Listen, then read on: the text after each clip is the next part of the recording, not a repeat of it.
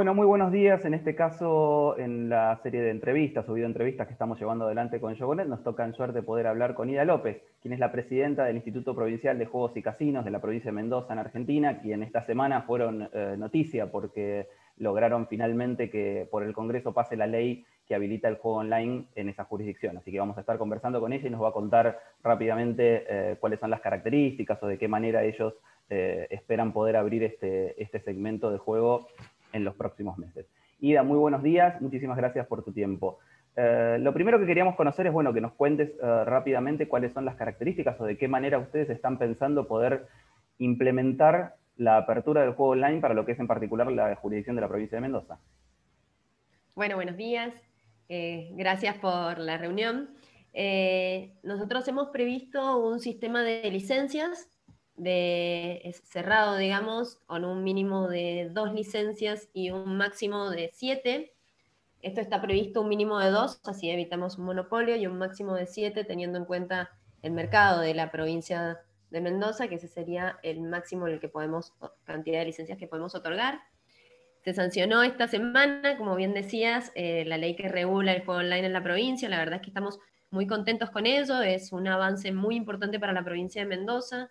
Eh, Mendoza en esto ha sido pionera en cuanto a una regulación en que la ley es pura y exclusivamente respecto de la regulación del juego online, entonces la verdad es que estamos muy contentos, muy conformes eh, como, terminó la ley, saliendo la ley. Em, hemos participado en este proyecto activamente desde, desde la autoridad de aplicación, que es el instituto, eh, sobre todo teniendo en cuenta y priorizando las pautas del de, juego responsable, que era algo que a nosotros nos preocupa sobremanera. Entonces, eh, pretendíamos que en la ley quedara especificado los grandes parámetros de ello eh, para proteger a los jugadores, teniendo en cuenta que vos mejor que nadie debe saberlo, cómo se está jugando en la ilegalidad hoy en día. En Mendoza esto es tremendo.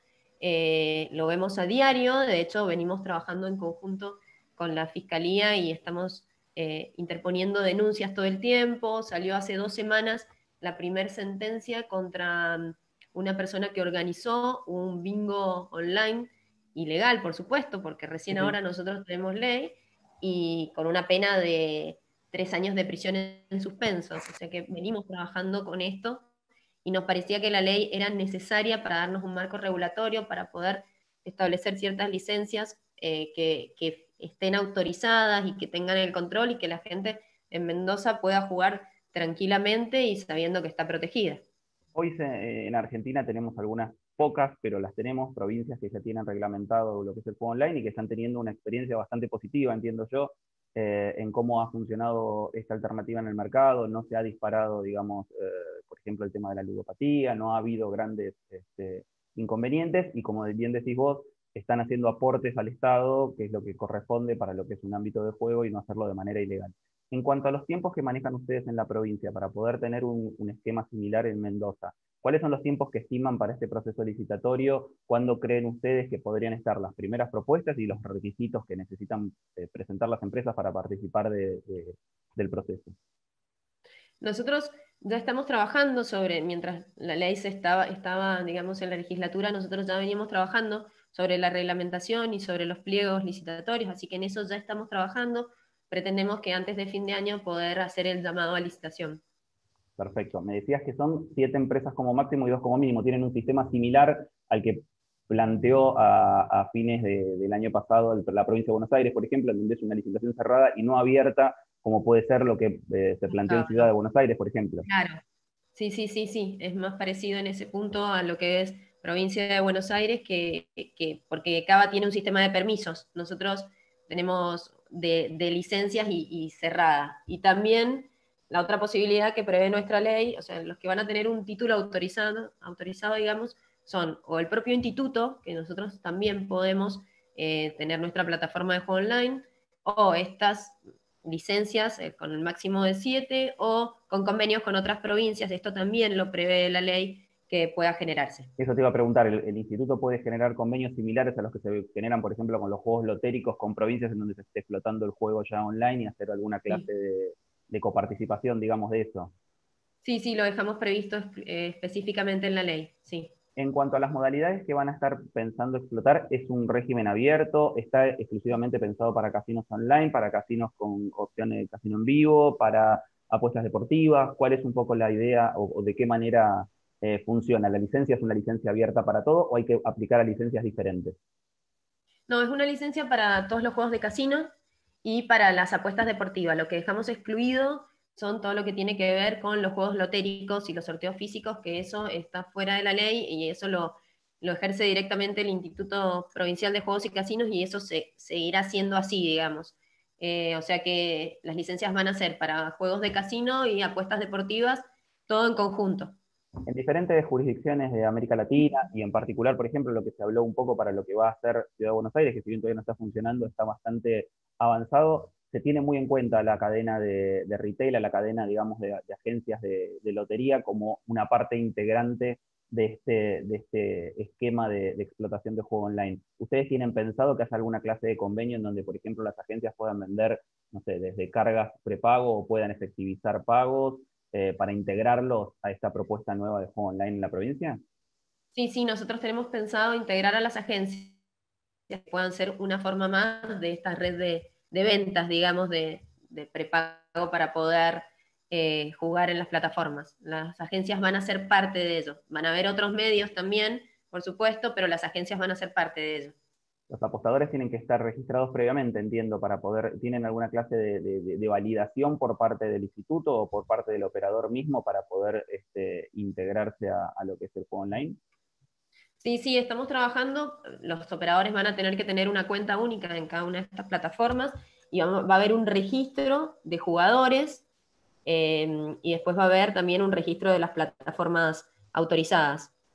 Van a tener que registrarse, pero estamos haciendo un sistema, esto es un poco más técnico, pero un sistema para que puedan eh, linkearse, digamos, eh, inscribirse en la página en la que van a hacer y nosotros tengamos esos datos para evitar que sea lo, menos burocrático posible, pero para asegurarnos de que la, identidad de la persona y también pretendemos hacer un convenio con el RENAPER para poder hacerlo, entonces de esta manera vamos a tener asegurado que quién está jugando, digamos, y evitar esto que pasa al día de hoy, que puede jugar un niño, una niña o un adolescente. Entonces, en esto sí hemos sido bastante estrictos, de hecho lo prevemos en la ley, en la reglamentación también, para que el jugador deba inscribirse con sus datos y uno pueda saber quién está jugando realmente.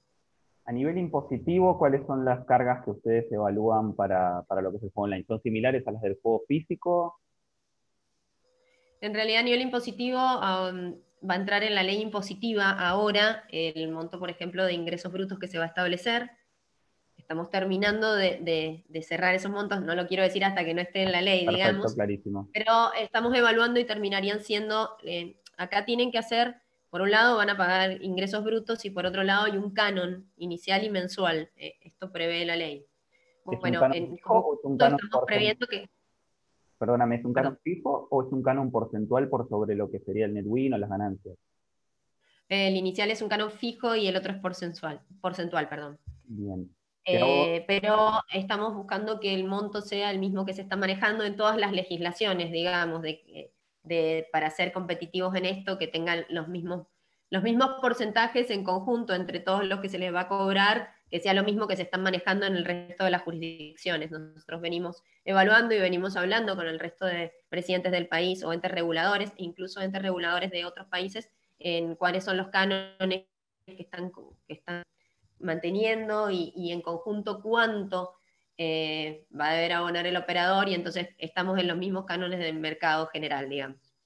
Voy a hacer dos últimas preguntas para no robarte más tiempo. La primera tiene que ver con si ustedes están evaluando alguna clase de beneficio o de, ventaja competitiva que puedan tener los operadores físicos para poder acceder a la licencia online o si por el contrario, como había sucedido en Buenos Aires, que ahora se modificó, hay alguna clase de prohibición o limitación para quienes tengan eh, juego físico en la provincia y quieran acceder a este otro segmento de mercado.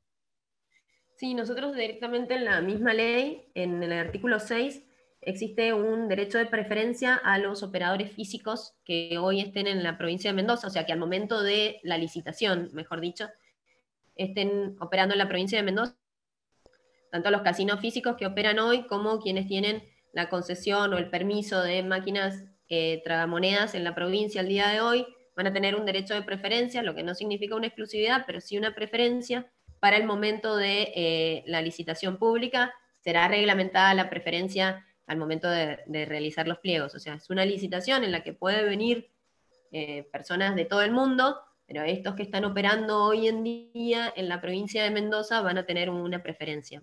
Esto se ha hecho en realidad teniendo en cuenta la situación actual de pandemia que estamos viviendo, que estos operadores al día de hoy tienen sus casinos físicos todos cerrados, sin embargo, eh, la planta de personal se está manteniendo, entonces, para priorizar el empleo de los mendocinos eh, y mendocinas que, están trabajando de ello y que el día de hoy no están trabajando, pero gracias a Dios están cobrando su salario, entonces eh, la provincia ha intentado dar una preferencia en este punto, sobre todo para priorizar el empleo de, de repito, las mendocinas y los mendocinos. Clarísimo y te hago la última pregunta, que es la más difícil y que probablemente no me puedas contestar, y tiene que ver con esto que estábamos hablando, de que las salas, eh, como pasa en, gran parte, de, ya no solo del país, sino a nivel regional, siguen cerradas. Si ustedes tienen alguna previsión, como han hecho otras provincias, de empezar a generar aperturas selectivas o aperturas de algún modo, o cómo van a manejar un poco el regreso de lo que ya saliendo del juego físico, pensando en el land base, o el, o el saliendo perdón, del juego online, entrando un poco en el físico, en el land base, de qué manera ustedes tienen pensada esta recuperación del mercado de cara además a que estamos eh, por sobre el verano, que para en particular la provincia de Mendoza, al igual que otras provincias del interior de, la Argentina, es muy importante la temporada de verano. Sí, en realidad nosotros de esto dependemos de las condiciones epidemiológicas, como va pasando. Eh, nosotros presentamos un protocolo ya hace unos meses cuando la situación estaba un poco mejor y entonces veíamos como con ansias el poder abrir, presentamos el protocolo, después, bueno, se vinieron muchos casos y ahora este protocolo está presentado, nosotros lo hicimos en conjunto con todos los casinos, digamos, tanto públicos como privados, desde el instituto coordinamos eso y entonces todos intervinieron en la formulación de este protocolo, pero estamos a la espera de que el comité epidemiológico diga se puede iniciar la actividad, y nos dé las recomendaciones pertinentes. Al día de hoy no tenemos fecha de apertura, eh, no, sabemos cuándo podrá ser. Hoy nosotros tenemos un sistema de aislamiento social, Mendoza, digamos, eh, tiene aplicado el aislamiento, por tanto, es Nación quien tiene que resolver, de acuerdo a los pedidos de la provincia, la autorización o no de, eh, en este caso puntual casino, pero de todas las actividades que se realicen en la provincia. Ida, te agradezco muchísimo tu tiempo para con Jovenet. Esperemos poder entonces estar hablando nuevamente, hacer alguna otra charla como esta, ya más cerca de la licitación y cuando tengan la reglamentación en mano para que nos puedas contar algún otro detalle. Eh, seguramente hay muchos operadores internacionales que estarán interesados en participar del mercado y la idea es poder eh, llevarles esta información. Gracias por tu tiempo y estamos en contacto. No, muchas gracias a ustedes, muy amable como siempre y a disposición. Estén muy bien, hasta luego.